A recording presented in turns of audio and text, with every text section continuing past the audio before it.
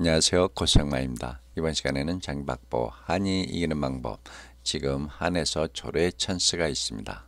이 찬스를 살리지 못하면 힘들어질 것입니다.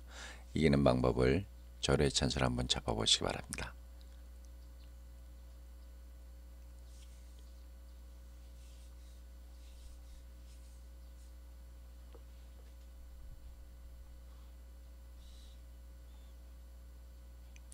이쪽으로 상장을 치, 친 급소 멍군. 같은데 멍군 또 포장. 장군, 멍군, 아 별 수가 없는 것 같습니다 지금. 아 이거 신통치 않죠?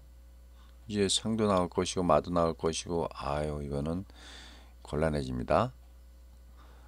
이쪽은 멍군, 마찬가지입니다. 장군, 멍군, 끌어버리면 이거 아 이것도 안 되겠죠? 그럼 절호의 찬스를 한번 잡아보겠습니다. 지금 이 포가요 이 자리를 딱 갑니다. 이 자리를 딱 가는 순간에 초에서는 수비가 수비를 못해요. 요 상장을 막을 수가 없습니다. 다시요. 포가 이 자리에 가는 순간에 초에서는 둘 것이 없습니다. 이 상장이 외통수가 됩니다.